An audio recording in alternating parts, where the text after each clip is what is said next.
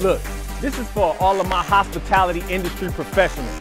If you're not in the industry, then I ain't talking to you. But for the servers out there, ain't you tired of them $5 tips? Ain't you tired of taking 15 to 20 tables a day just to make 100 bucks? Or maybe you want to take it to the next level in 2019. You need to come on over to Fine Dining. I'm telling you, it's a whole nother league on this level. I took my game from turn and burn to finesse and impress. But don't get it twisted.